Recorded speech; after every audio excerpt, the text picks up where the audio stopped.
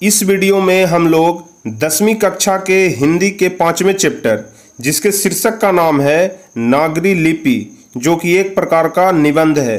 तो आज के इस वीडियो में हम लोग इसी चैप्टर के बारे में विस्तार से जानेंगे, विस्तार से इस चैप्टर के बारे में चर्चा करेंगे, और इस चैप्टर से संबंधित जितने सारे भी सब्जेक्टिव क्वेश्चन जो कि आपके बुक में दिए हुए हैं, उन सारे सब्जेक्टिव क्वेश्चन को एक एक करके बारी बारी से देखेंगे। हम आपको बता दें कि इस चैप्टर के पहले के चार चैप्टर हम आपको ऑलरेडी कंप्लीट करा चुके हैं। तो यदि आप उन चारों चैप्टर को अभी तक नहीं देखे हैं तो हमारे चैनल के प्लेलिस्ट में जाकर के आप उन सभी चैप्टर को देख सकते हैं। या फिर हम इसी वीडियो के डिस्क्रिप्शन में उन सारे वीडियो का लिंक दे देंगे। आप वहाँ से भी जा के आप उन चारों चैप्टर को देख सकते हैं। तो चलिए, इस वीडियो में हम लोग नागरी लिपि को देखेंगे। नागरी लिपि से संबंधित जितने सारे भी क्वेश्चन हैं, उसको सॉल्व करेंगे। तो चलिए, बहुत ही सरल भाषा में हम आपको बताने की कोशिश करेंगे। तो ध्यान से आप समझिएगा और वीडियो को पूरा देखिएगा, क्योंकि वीडियो को यदि आप अधूरा देख लीजिएगा, इससे आपको कोई फ़ायदा नहीं होने वाला है। किसी प्रकार की कोई भी बात आपको समझ में नहीं आएगी। तो हम आपसे रिक्वेस्ट करते हैं कि आप वीडियो को पूरा देखिएगा। तो चलिए, जल्दी से वीडियो को लाइक कर दीजिए। चैनल पर अभी तक नए हैं, चैनल को सब्सक्राइब नहीं किए हैं। तो रेड कलर के बटन को दबा करके चैनल को सब्सक्राइब कर लीजिए और साथ में बेल आइकन भी दबाइए, क्योंकि जिससे कि सभी वीडियो का नोटिफिकेशन आप तक सबसे पहले पहुँच सके। तो चलिए, बिना समय गवाए हम वीडियो शुरू करते हैं और आपको सबसे पहले नंबर क्वेश्चन पर ले चलते हैं। तो सबसे पहले हम आपको बता दें कि यह जो चैप्टर है, जिसके शीर्षक का नाम है नागरी लिपि इसके जो निबंधकार हैं मतलब इस चैप्टर के जो राइटर हैं, उनका नाम है गुनाकर मूले।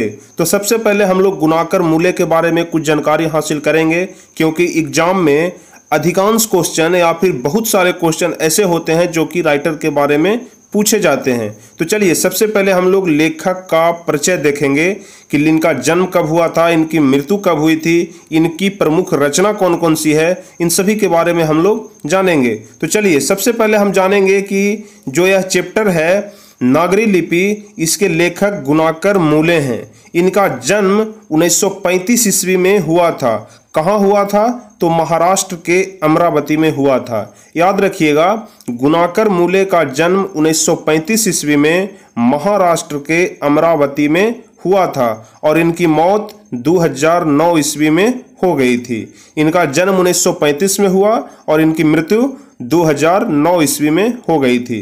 इनकी प्रमुख रचना के बारे में बात करते हैं। देखिए, आपके किताब में तो राइटर के जो लेखक का परिचय है, इसके बारे में बहुत लंबी कथा दिया हुआ है। लेकिन हम आपको कुछ वैसे चीज़ बताते हैं जो कि आपके एग्ज़ाम में पूछे जाते हैं। एग्ज़ाम में हमेशा जन्म, मृत्यु और प्रमुख रचना ही अधिकांश बार पूछा जाता है। इसलिए हम आपको इसी चीज़ के बारे में बतलाते हैं। तो देखिए, इसके बाद हम लोग देखेंगे कि इनकी प्रमुख रचना कौन सी है। तो इनकी अगर प्रमुख रचना के बारे में बात करें तो इनकी प्रमुख रचना में अक्षरों की कहानी, अक्षर कथा, प्राचीन भारत के महान वैज्ञानिक, आधुनिक भारत के महान वैज्ञानिक, सौरमंडल और नक्षत्र मंडल यह जो है रचना, इनकी प्रमुख रचना है। मतलब गुनाकर मूल्य की प्रमुख रचना यही सब है जो यहाँ पर आपको दिया हुआ है। तो इसे भी आप ध्यान में रखिएगा, याद कर लीजिएगा। अब चलिए, सबसे पहले हम लोग देखेंगे नागरी लिपि का सारांश। जो यह चैप्टर है नागरी लिपि, इसका सारांश हम लोग सबसे पहले देखेंगे। तो चलिए हम आपको इस चैप्टर का सारांश बताते हैं। तो देखिए, इसका सारांश कहता है कि प्रत्येक भाषा के वर्ण अलग अलग होते हैं। बहुत सारे स्टूडेंट का एक कमेंट आता है कि, सर, कहानी के बारे में बताइए। इसलिए हम आपको प्रत्येक चैप्टर का सारांश बताते हैं, जिससे कि आपको कहानी के बारे में जानकारी हो जाए।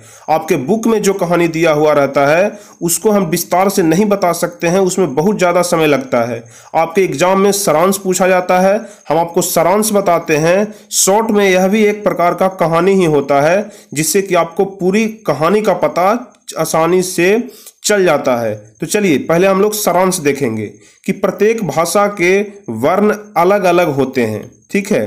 प्रत्येक भाषा के वर्ण अलग अलग होते हैं। वर्ण के बारे में हम लोग व्याकरण वाले पार्ट में विस्तार से जानेंगे तो हम आपको व्याकरण आगे बताएँगे। और उन्हें जिस रूप में अंकित किया जाता है, उसे हम लोग लिपि कहते हैं।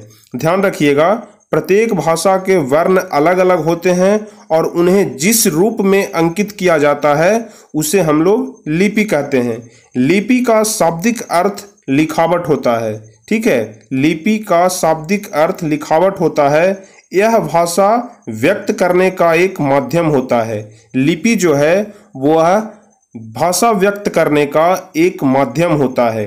लिपि विकास के चार अवस्थाएँ होती है, ठीक है? लिपि विकास के चार अवस्थाएँ होती है। आपके एग्ज़ाम में पूछा जा सकता है वस्तुनिष्ठ प्रश्न में कि लिपि विकास के चार अवस्थाएँ कौन कौन सी होती है? तो पहला हो जाता है प्रतिलिपि, दूसरा भाव, तीसरा होता है चित्र और चौथा होता है ध्वनि, ठीक है? यही चार जो होता है वो लिपि विकास के चार अवस्थाएँ होती है। अब देखिए, हमारे देश की प्रमुख भाषा हिंदी है, ठीक है? हमारे देश की प्रमुख भाषा हिंदी है, जिसकी लिपि देवनागरी है। देवनागरी लिपि का जन्म ब्राह्मणी लिपि से हुआ, जो प्रायः बाएँ से दाएँ लिखी जाती है, ठीक है? लिपि जन्म ब्राह्मणी लिपि से हुआ, जो प्रायः बाएँ से दाएँ लिखी जाती है। ब्राह्मणी लिपि का आविष्कार आर्य जाति का देन है। ध्यान रखिएगा, ब्राह्मणी लिपि का जो आविष्कार है, वह आर्य जाति का देन है। ठीक है? अब हम लोग आगे देखेंगे, देवनागरी लिपि को हिंदी लिपि का लोक नगरी लिपि भी कहा जाता है। या इसे ध्यान रखिएगा, देवनागरी लिपि को हिंदी लिपि का लोक नगरी लिपि भी कहा जाता है। देवनागरी लिपि में कौन कौन सी भाषाएँ लिखी जाती है? अब हम लोग इसके बारे में देखेंगे। तो चलिए, देवनागरी लिपि में हिंदी, संस्कृत, नेपाली, नेवारी, मराठी, मैथिली, मगही एवं भोजपुरी भाषाएँ लिखी जाती है। आपसे एग्ज़ाम में पूछ सकता है कि देवनागरी लिपि में कौन कौन सी भाषा लिखी जाती है। तो आपको बताना है कि देवनागरी लिपि में हिंदी, संस्कृत, नेपाली, नेवारी, मराठी, मैथिली, मगही एवं भोजपुरी भाषाएँ लिखी जाती है, जो भारत के संपूर्ण क्षेत्रों में यह लिपि फैला हुआ है। ठीक है, भारत के संपूर्ण क्षेत्रों में यह सभी जो लिपि है, वह फैला हुआ है। अब हम लोग देखेंगे इसके आगे चौथा नंबर पॉइंट। हम इसके सारांश को पॉइंट बाय पॉइंट बताने की कोशिश किए हैं। तो आप इसे पॉइंट बाय पॉइंट पढ़िएगा तो आपको ज़्यादा समझ आएगा। चलिए, चौथा नंबर पॉइंट हम लोग देखेंगे कि नंदी नागरी लिपि क्या है और किस प्रसंग में लेखक ने उसका चर्चा किया है? नंदी नागरी लिपि के बारे में पूछ रहा है। तो दक्षिण भारत की नागरी लिपि को ही नंदी नागरी लिपि कहा जाता है। याद रखिएगा, दक्षिण भारत मतलब जो साउथ इंडिया है तो दक्षिण भारत की नागरी लिपि को ही नंदी नागरी लिपि कहा जाता है। इस प्रसंग की व्याख्या लेखक के द्वारा कोकन की शिलाहार मान्यखेट के राष्ट्रकूट में भी किया गया है। ठीक है? अब हम लोग वैसे क्वेश्चन को देखेंगे जो कि आपके बुक में दिए गए हैं। तो देखिए, सबसे पहला नंबर क्वेश्चन जो आपके बुक में दिया गया है, देवनागरी लिपि के अक्षरों में स्थिरता कैसे आई है? ठीक है क्वेश्चन कहता है कि देवनागरी लिपि के अक्षरों में स्थिरता कैसे आई है? तो इसका उत्तर हम लोग सबसे पहले देखेंगे कि करीब दो सदी पहले पहली बार इस लिपि के टाइप बने और इसमें पुस्तकें छपने लगी। देवनागरी लिपि में तो देवनागरी लिपि के बारे में यहाँ पर बोल रहा है कि करीब दो सदी पहले पहली बार इस लिपि के टाइप बने और इसमें पुस्तकें छपने लगी, इसलिए इसके अक्षरों में स्थिरता आ गई। जब इस लिपि में पुस्तकें छपने लगी, मार्केट में पुस्तकें आ गई देवनागरी लिपि की तब इनके अक्षरों में स्थिरता आ गई। तो यह सभी दो नंबर का क्वेश्चन है तो इसलिए इसे शॉर्ट में इसका उत्तर देना है। चलिए, दूसरा नंबर क्वेश्चन हम लोग देखेंगे। देवनागरी लिपि में कौन कौन सी भाषाएँ लिखी जाती है? हम आपको कहानी के सारांश में भी अभी बताए कि देवनागरी लिपि में नेपाली की नेपाली, वो नेवारी भाषाएँ, मराठी भाषा की लिपि तथा संस्कृत एवं हिंदी की लिपि लिखी जाती है। कौन कौन सी भाषाएँ लिखी जाती है? तो मैथिली, मराठी, हिंदी, संस्कृत, नेपाली, नेवारी सभी भाषाएँ जो है, वह देवनाब देवनागरी लिपि में ही लिखी जाती है। चलिए क्वेश्चन नंबर तीसरा देखेंगे कि लेखक ने किन भारतीय लिपियों से देवनागरी का संबंध बताया है। लेखक ने किन भारतीय लिपियों से देवनागरी लिपि का संबंध बताया है। तो लेखक ने गुजराती और बंगला लिपि से देवनागरी का संबंध बताया है। यहाँ पर जो लेखक गुनाकर मूले जी हैं, उन्होंने देवनागरी लिपि का संबंध गुजराती और बंगला लिपि से बताया है। आपको अगर एग्ज़ाम में इसी क्वेश्चन को लिखना हो तो आप इस प्रकार से लिखेंगे, इस कहानी के लेखक गुनाकर मूले जी ने देवनागरी लिपि का संबंध गुजराती और बंगला लिपि से बताया है। ठीक है, चलिए चौथा नंबर क्वेश्चन देखेंगे। नंदी नागरी किसे कहते हैं और किस प्रसंग में लेखक ने इसका उल्लेख किया है? नंदी नागरी लिपि, हम आपको शायद चौथा नंबर पॉइंट कहानी के सारांश में बताए थे नंदी नागरी लिपि के बारे में। तो चलिए, विद्वानों का यह भी मत है कि बाकाटकों और राष्ट्रकूटों के समय में महाराष्ट्र के प्रसिद्ध नंदी नगर जिसको आधुनिक नांदेड़ से भी जाना जाता है, कि लिपि होने के कारण इसका नाम नंदी नागरी पड़ा। ठीक है? यहाँ से फिर से समझिएगा कि विद्वानों का यह भी मत है कि वाकाटकों और राष्ट्रकूटों के समय के महाराष्ट्र के प्रसिद्ध नंदी नगर की लिपि होने के कारण इसका नाम नंदी नागरी पड़ा। दक्षिण भारत में पोथियाँ लिखने के लिए नागरी लिपि का व्यवहार होता था। दक्षिण भारत में पोथियाँ लिखने के लिए नागरी लिपि का व्यवहार होता था। दरअसल दक्षिण भारत की यह नागरी लिपि नंदी नागरी कहलाती थी, ठीक है? दक्षिण भारत की जो है नागरी लिपि है, उसी को हम लोग नंदी नागरी लिपि कहते थे। कोंकण के शिलाहार मान्य खेट के राष्ट्रकूट देवगिरी के यादव तथा विजयनगर के शासकों के लेख नंदी नागरी लिपि में हैं। आपसे एग्ज़ाम में पूछ सकता है कि कहाँ कहाँ के लेख नंदी नागरी लिपि में है? कौन कौन से लेख नंदी नागरी लिपि में है? तो आपको बताना है, कोंकण के शिलाहार मान्य खेट के राष्ट्रकूट, देवगिरी के यादव तथा विजयनगर के शासकों के जो लेख हैं, वह नंदी नागरी लिपि में हैं। पहले विजयनगर के राजाओं के लेखों की लिपि को ही नंदी नागरी नाम दिया गया था। ठीक है, ध्यान रखिएगा, विजयनगर के राजाओं के लेखों की लिपि को ही नंदी नागरी नाम दिया गया था। ठीक है, चौथा नंबर क्वेश्चन आपका यहाँ पर कंप्लीट हो गया। अब देखेंगे हम लोग पांचवा नंबर क्वेश्चन। नागरी लिपि में आरंभिक लेख कहाँ प्राप्त हुए?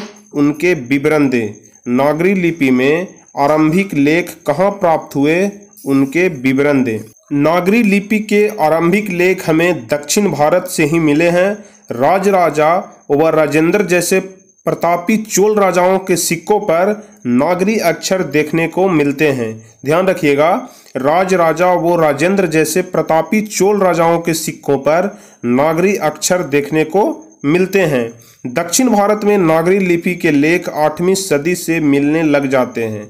दक्षिण भारत की अगर बात करें तो वहाँ जो नागरी लिपि का जो अवशेष है, वह आठवीं सदी से ही मिलने लग जाते हैं और उत्तर भारत में नौवीं सदी से। आपके क्वेश्चन में पूछ सकता है कि दक्षिण भारत में नागरी लिपि का लेख कौन सी सदी में मिलना शुरू हुआ और उत्तर भारत में नागरी लिपि का लेख कौन से सदी में मिलना शुरू हुआ। तो आपको बताना है कि दक्षिण भारत में आठवें सदी में और उत्तर भारत में नौवें सदी में नागरी लिपि के लेख मिलने शुरू हुए। ठीक है तो चलिए, पांचवा नंबर क्वेश्चन हो गया। अब हम लोग देखेंगे छठा नंबर क्वेश्चन ब्राह्मी और सिद्धम लिपि की तुलना में नागरी लिपि की मुख्य पहचान क्या है? ब्राह्मी लिपि और सिद्धम लिपि की तुलना में नागरी लिपि की मुख्य पहचान क्या है? तो इसका जवाब होगा कि गुप्त काल की ब्राह्मणी लिपि तथा बाद की सिद्धम लिपि के अक्षरों के सिरों पर छोटियाड़ी लकीरें या छोटे ठोस तिकोण हैं। ठीक है, याद रखिएगा, गुप्त काल की ब्राह्मणी लिपि तथा बाद की सिद्धम लिपि के अक्षरों के सिरों पर छोटी आड़ी लकीरें या छोटे ठोस तिकोण हैं। लेकिन नागरी लिपि की मुख्य पहचान यह है कि इसके अक्षरों के सिरों पर पूरी लकीरें बन जाती है और ये सिरो रेखाएँ उतनी ही लंबी रहती है जितनी की अक्षरों की चौड़ाई होती है। ध्यान रखिएगा, नागरी लिपि की मुख्य पहचान यह है कि इसके अक्षरों के सिरों पर पूरी लकीरें बन जाती है। ठीक है? आप किसी भी अक्षर को लिखते होंगे तो उसका ऊपर से जो माथा आप जोड़ते हैं, उसी को हम लोग कहते हैं अक्षरों के सिरों पर पूरी लकीरें बन जाती है। और ये सिरो रेखाएँ उतनी ही लंबी रहती है जितनी की अक्षरों की चौड़ाई होती है। कहने का मतलब जैसे हम यहाँ पर राम लिखते हैं तो राम लिख कर हम ऐसे ही नहीं छोड़ देते हैं। इसके ऊपर हम पूरा लकीर खींचते हैं, ठीक है? तो इसी लकीर को ही सिरो रेखाएँ कहते हैं और सिरो रेखाएँ उतनी ही लंबी होती है जितनी की अक्षर की लंबाई होती है, ठीक है? इसी बात को यहाँ पर बोला जा रहा है कि सिरों पर लकीरें बन जाती है और सिरो रेखाएँ उतनी ही लंबी रहती है जितनी की अक्षरों की चौड़ाई होती है। ठीक है? तो आपका छठा नंबर क्वेश्चन यहीं पे कंप्लीट हो जाता है। अब सातवें नंबर क्वेश्चन को हम लोग अगले वीडियो में देखेंगे। ठीक है? तो चलिए, जल्दी से वीडियो को लाइक कर दीजिए चैनल को सब्सक्राइब कर लीजिए ताकि अगला वीडियो का नोटिफिकेशन आपको मिल सके। तो चलिए, फिर मिलेंगे हम आपसे अगले वीडियो में। तब तक के लिए जय हिंद, धन्यवाद।